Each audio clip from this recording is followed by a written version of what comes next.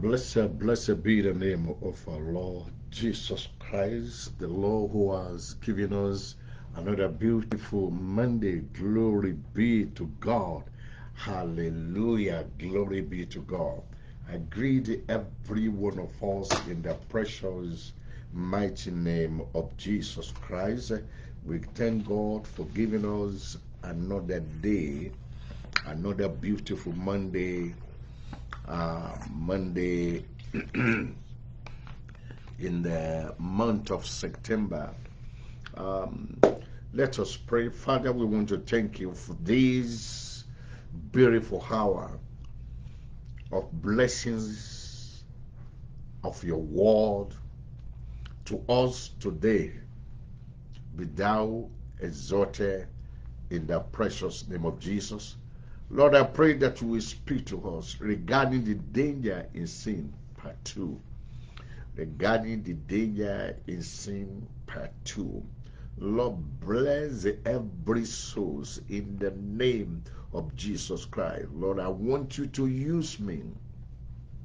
Lord, touch me, speak through me. Let my whole body become yours right now in your words that you'll be speaking to us regarding to danger in sin, that danger in sin, part two. Let only your name be glorified. In Jesus' precious redeemer, I pray and amen. I welcome every one of us in the precious mighty name of Jesus Christ.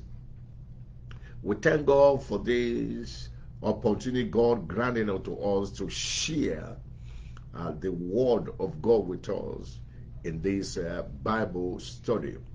I want you to realize that uh, this is to prepare us for our eternity because you are going to actually connected to the truth which will keep you clean and make you walk straight with God.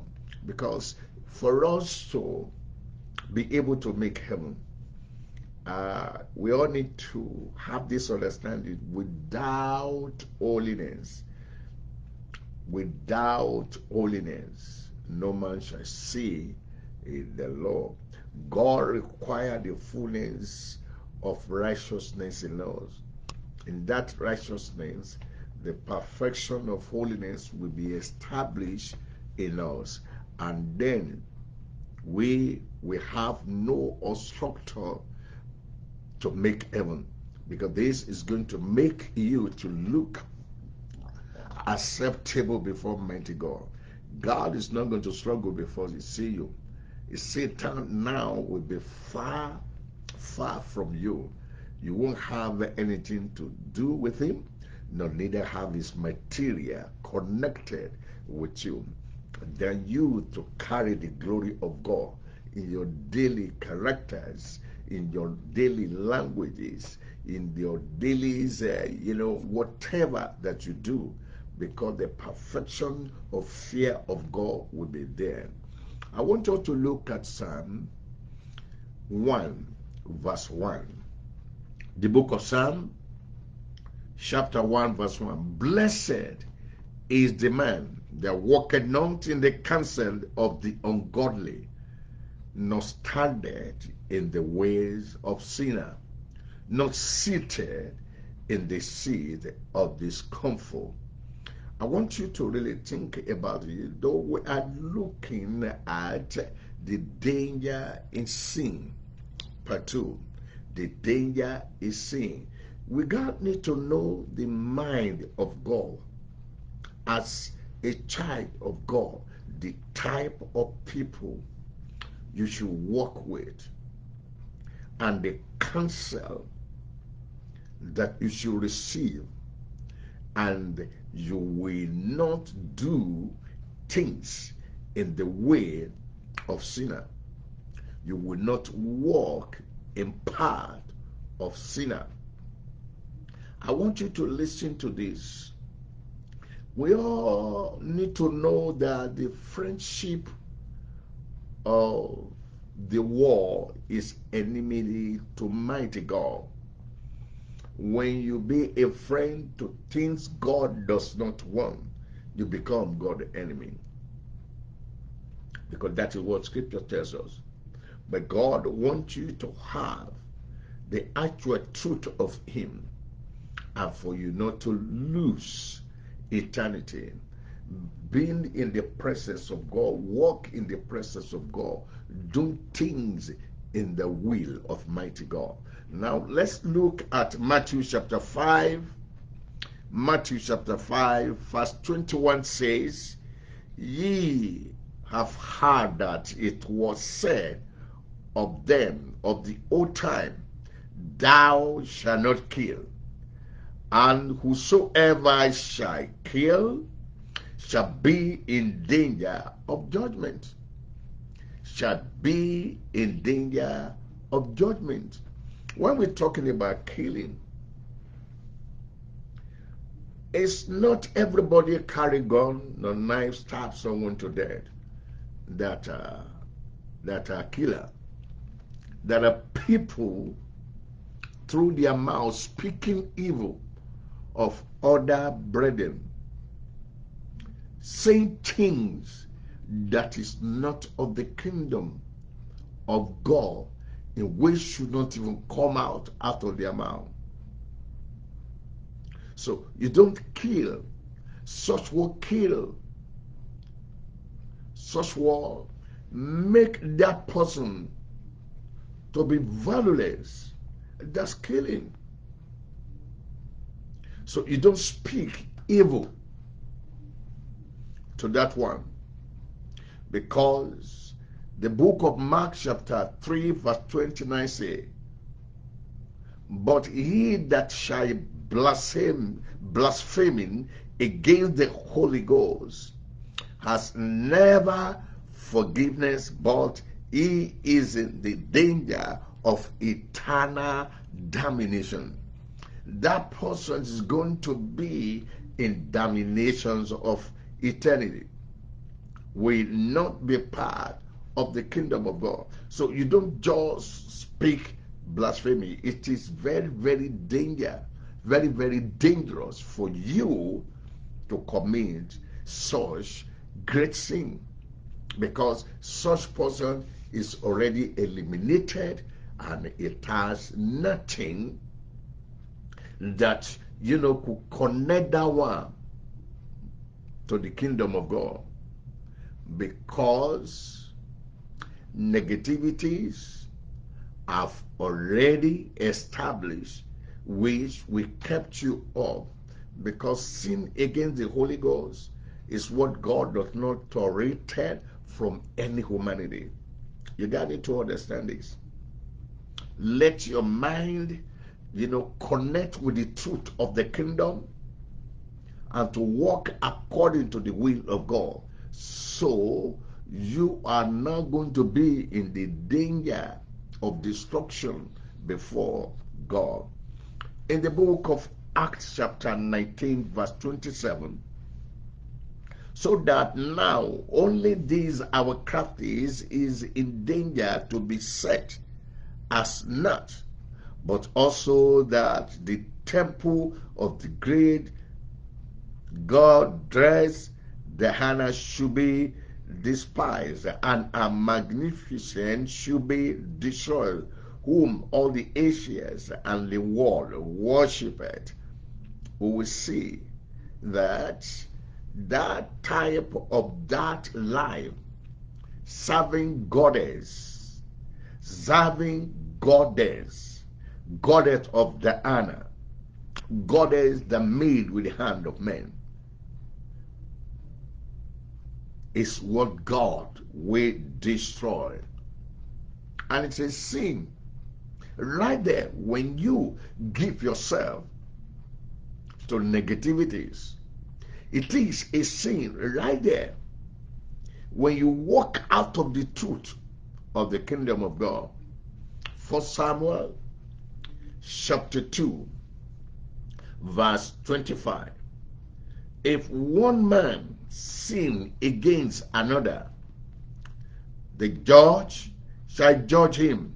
But if a man sin against the law, who shall interest for him? notwithstand, they hearken not unto the voice of their father because the law will slay them. Can you see that? It's very, very simple. To come in a way which is not of the kingdom, when you now begin to commit the sin, you're into a great dangerous situation before mighty God. So we need to get this clear. If one man sin against another, the judge shall judge him. That is just man. Is man is the judge.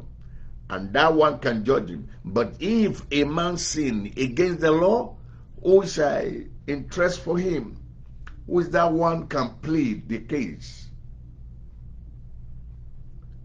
You know, meanings the danger in sin lead to destruction. It's not going to build anything to any perfection. Hmm. For Samuel chapter 19, verse 4. And Jonathan spoke good of David unto Saul his father, and said unto him, Let not the king sin against his servant, against David, because he has not sinned against thee, and because his work have been to three word very, very good. You can see that the son of Saul, Jonathan, noticed the father did not know that Saul, the father did not love David and it's making him to understand the implication of what he's trying to apply against the young man. Because someone who does not sin against you, you are pursuing that one to be killed. It's dangerous. It's not account for. God does not support such evil art. God is not working with that person to succeed against the innocent. Or that one will receive it back fully. Let's look at what 1 Samuel chapter 26, verse 21 said. Then said Saul, I have seen return my son David for I will no more do thee harm, because my soul was precious in thy eyes this day. Behold, I have played the fool and have erred exceedingly. You know, um, Saul here is calling attention to David to let him know that he had done very bad to him because David had opportunity to kill him. But he was worried of the oil of God in her. It was not having the power of approaching. You know, as when we look at the heart of David in regarding that he gave to Almighty God, It did not look at the evil Saul have done, but is thinking the oil. Because that oil is holy. That oil is pure. That oil is un, undiluted. It has no magic connection. And knew anything, God chooses. Mm -mm. It doesn't have the grit to oppose Malehan. David make him to understand. He declared the truth of the kingdom of God. So that is why Saul said, I have seen, when I'm talking of declaring, you heard what he said. He spoke well told Saul that I you need to know I'm not trying to kill you. I'm I love you. I cannot kill you. Look at my hand.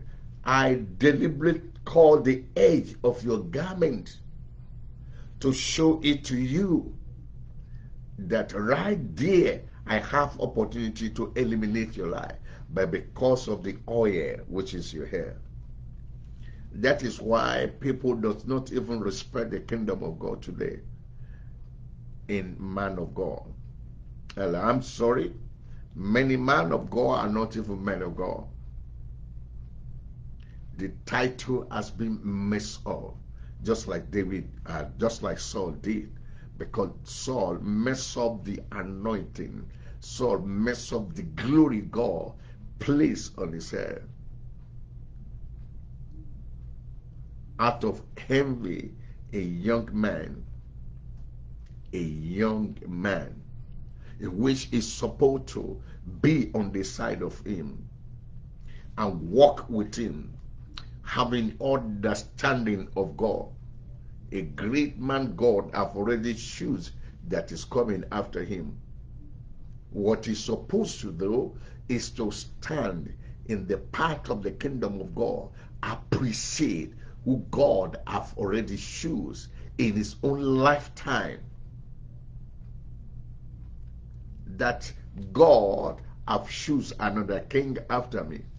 Because God still give him life every day. Let me let you understand this. Do not envy.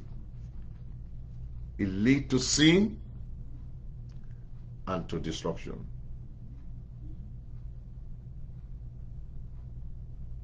I'm begging you in the precious name of Jesus because we are going to take a different route step right now regarding to sin or whoever that sinned. Now, look at the book of Romans. Romans chapter 2 verse 12. For as many as have sinned without law shall also perish without law. And as many have, have seen in the law shall be judged by the law. You need to understand this. No, no one is going to escape. No excuses of any sin being committed. If you commit sin, the judgment is waiting. If you commit any sin, the judgment is still waiting. Look at Saul. Even for the fact that he has committed the sin, he's still ruling as a king. Okay. Maybe I go to behind. Look at Judas Iscariot. He was with Jesus and embezzled many, many all the time. God refused to let him die. He still allowed him to be committing, and he was just still in that sin and is living in the sin and walking in sin every day that he walked with Jesus by taking the money that is not belong to him for himself. I want you to think about this. Don't say because judgment did not come to you don't say judgment did not come to you why you are sinning. Okay, God's supposed to judge me. No. The Bible says he patient. God is very, very patient. Is very, very patient. Because the love that he have for you is waiting for your repentance time want you to change. It doesn't want you to die in that sin. So the danger in sin is judgment which surely come. You got to think of whatever that you do. However, Devil wants you to look at it to justify yourself. But the word of God cannot be broken. The reality of God must surely establish. Because we are going to a stage whereby God wanting to open our understanding from error of misinterpreting the word of God for some people to remain in sin as if because you claim that you give your life to Jesus, adultery is still in you, lying is still in you, stealing is still in you, and no. There is a glaring truth of the kingdom of God in which wanting to expose most of those into details of understanding of what God wants you to know. Please, don't quote me wrong. Don't quote me wrong. Because the light must brighten. And the brightness is the truth that will reveal the actuality of mighty God. Let's look at verse 16, chapter 5 of Romans. Romans chapter 5, verse 16. And not as it was by one that sin, so is the gift. For the judgment was by one to condemnation, but the free gift is of many offenses unto justification. Many offenses to just people are misinterpreting this place a lot. They were using their mind, you know, to think of what the word is saying here. Let me read it again. And not as it was by one that sinned we know the first sin come from Adam. The first sin come from Adam. God does not want us to remain in that. So is the gift for judgment was by one to condemnation, but the free gift is of many offenses unto justification. That free gift is Jesus. That free gift is Jesus. That will let you have a great freedom in having the freedom judgment. You are going to get freedom judgment, not to condemnation through one. Just be following me. Romans chapter 5, verse 19 says, For as by one man disobedient, many were made sinners, so by the obedience of one shall many be made righteous. Well, is he talking about Adam and Jesus Christ? Because through the disobedient by eating the fruit they are not supposed to eat. Men were judged to die, and we are still dying today. So, by the obedience of one shall many be made righteous. Now, I'm going to explain this place better. It says that Jesus Christ has come to die for us. Without his blood being shed, we are not going to get, you know, the glory which we watch his sins, which we committed away. And uh, after his blood cleansing us, that make us to be righteous. But not for us to go back to those things we've been cleansed from. Because a lot of people just look at this war and they always says, because Jesus have died for my sin, I ain't got no problem. I believe him that he died for me, but you are still telling lies. You are still stealing. You are sitting, no, no, no, no. It's not standing for you in that area because of one war here. One shall, I mean, he say, so by obedience of one shall many be made righteous because his blood will watch you and it will keep you in path of righteousness, not to go back to the things of the world. You are going to get it better right now. You are going to get it better. If you look at chapter 5, verse 20, say, Moreover, the Lord entreated that the offense might abound. But where sin abounded, great deed much more abound. I want you to look at this place.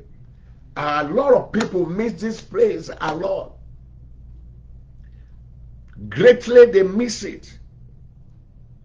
They only think in as small you confess Jesus, grace abound. That if you commit sin again without repentance, without standing in the truth of God, you just begin to commit sin and live like a worldly people, grace about. No, it's not like that. Because devil wanted to convince a lot of people to this wrong. Listen to this. John 10 10 says, The thief cometh not, but for to steal and to kill and to destroy. He said, I have come that they might have life and that they might have it more abundantly. If you look at this, and if you look at what Romans chapter 5, verse 20 is making us to understand, Christ came to rebuild and restore what we lost through Adam and Eve because everybody was fully living in sinful nature and they continue in characteristics of that evil. To the extent in chapter 6, man so much annoy God and it destroyed all men. Only Noah and his family. And from the from the extinction of Noah, Abraham came out. Abraham came out fine by God Himself to really see who we stand in the will. If you look at Abraham, all his day with God, nothing God corrected him, corrected him for that he went back to do. No. Was God telling this shall not be touched? It will bow for repentance and watching God. If you look at chapter 17 of Genesis, Genesis chapter 17. Let me quickly call attention to this. I want you to hear this now. And when Abraham, I'm reading from verse 1, and when Abraham was 99 years old and nine, the Lord appeared to Abraham and said unto him, I am the Almighty God. Walk before me and be thou perfect walk before me. God is calling him to fullness of righteousness. I want you to look at what God said, and in verse 3, what uh, Abraham did.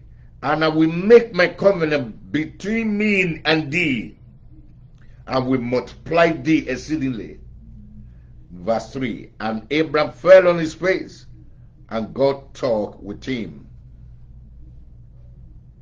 God talked with him, saying, You know, God now assure Abraham that in perfection, that is when he's going to get the fullness of his glory. So we see when he get to Abraham, from Abraham to Isaac, Isaac to Jacob, from the Jacob 12 tribe of Israel, and from the 12 tribe of Israel, our Savior appeared.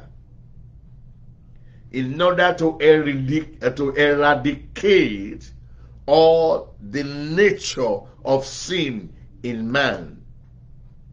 I'll read verse 10 again. John 10 10. The thief cometh not but to steal and to kill and to destroy.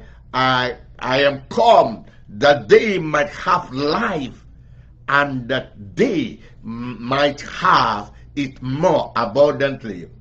Abundantly is for eternity. For eternity, we will die no more and live like God, but not in sin. Not in sin.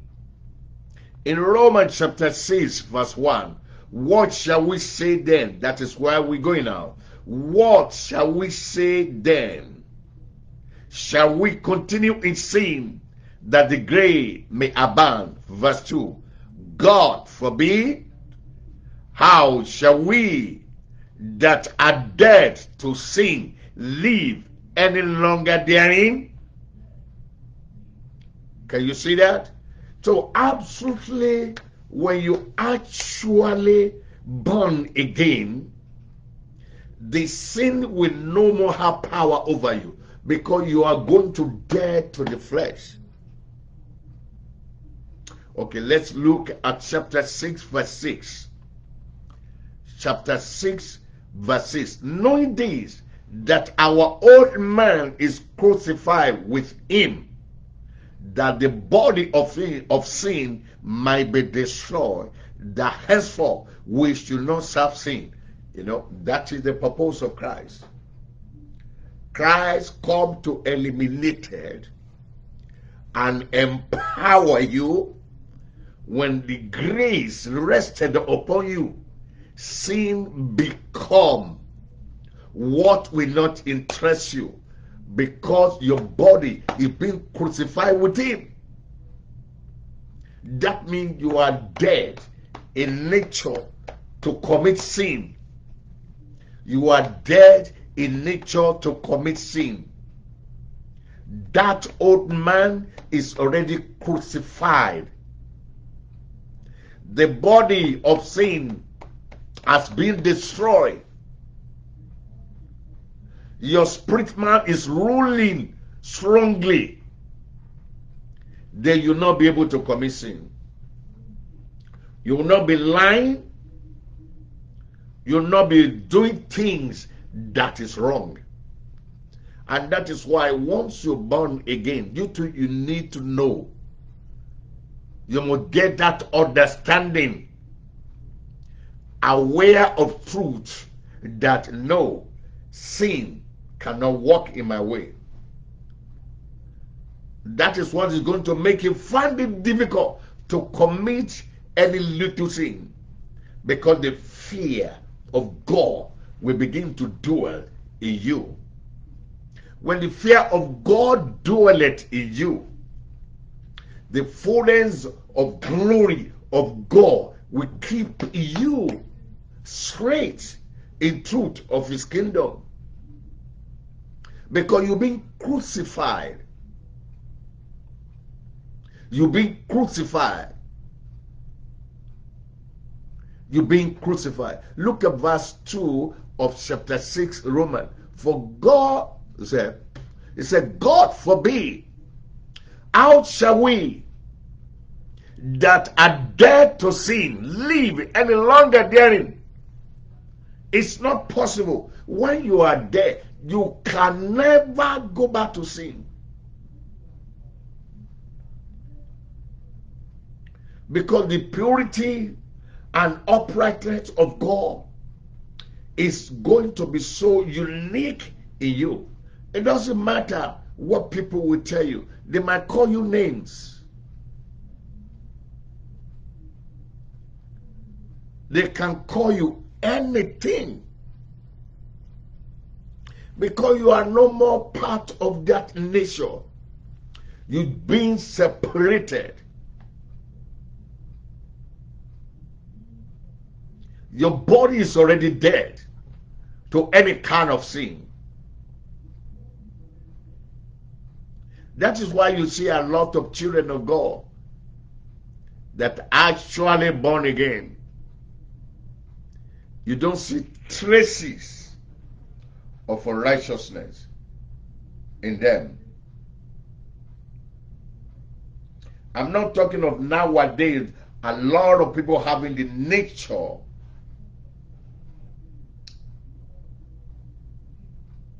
of sin in them. You can see it through their language, through their character. Uh, because the things of God is clean. Clean is clean.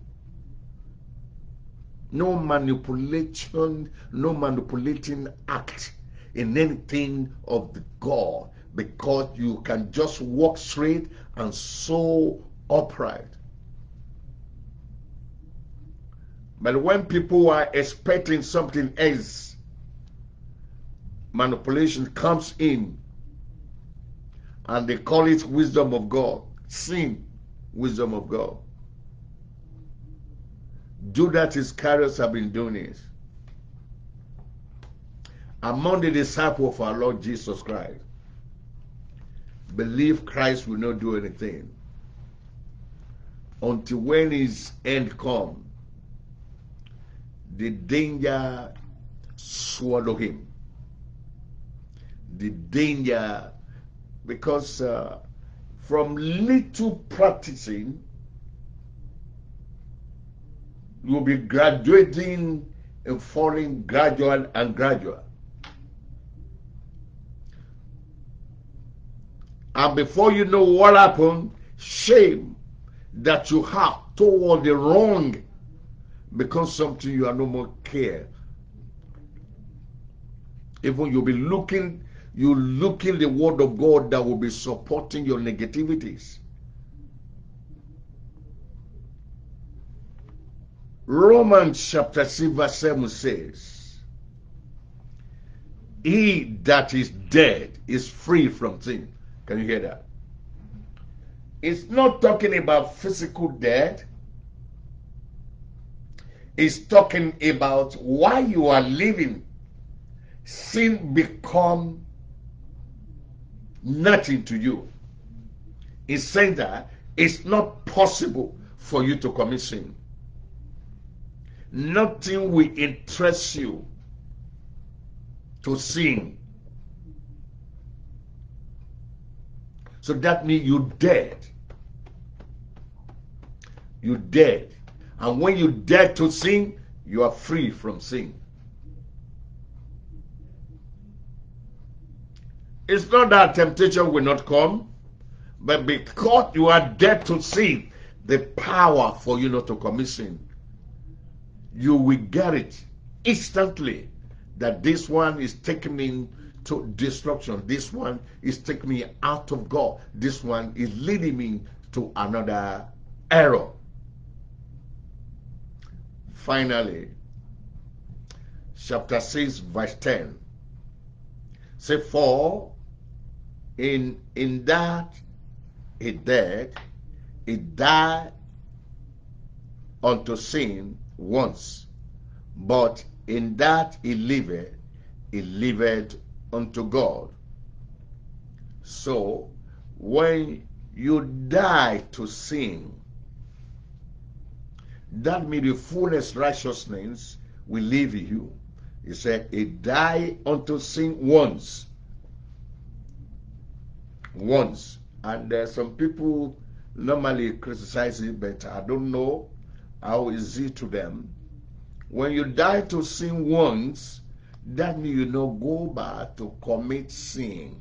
You know go back to do what is not right before mighty God. You are totally set free from sinning. You are totally set free from sinning. But he, I mean, but in that he live, he liveth unto God. You need to get this clearly. You are living for eternity. Because the standard of your holiness are matched with heaven. We need to really understand this. If you don't get it, can a little bit dangerous for us. For us to be able to make heaven. I want you to think right now. Begin to look at yourself. Are you really dead to sin? If you don't die to sin, you can't make heaven. Holiness cannot rule over you. Purity, you are far from it. And the danger behind it all, heaven, such person will not make. You know, one thing that usually uh, come to me is I look at the time when I was a 10 years old, 15 years old, get to 30, moving forward, 50, got to 50, got to 60. Then I look at myself. I look at myself. I remember all those times. I remember life I live but yet does not leave my brain. You to think. It's only the number make you look old. Because when you are 60 plus, like me, you will not and you will never try to ignore the actual truth of the kingdom because you have to count your age. Count that number. You may be in 30. Yes, you come into this level. You might even be 70 now, above my age. You might be 80. And God is giving you grace and understanding to understand the accuracy of truth of his kingdom. For in that he died, he died unto sin. Be one, be the one that let all your nature die to sin. Romans system. It's only once. This can happen once. That is what he says. But in that he liveth, he liveth unto God, that you've come to realm of fullness of fullness of righteousness.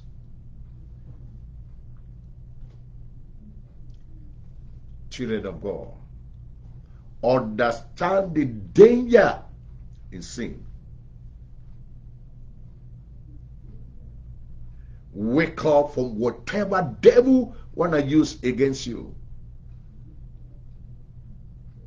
And let righteousness prevail. Let truth rule over you.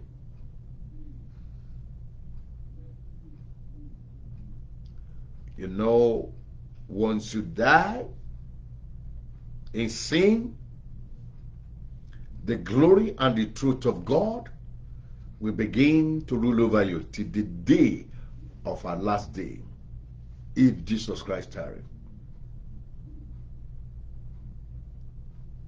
You're not involved in anything called negativities.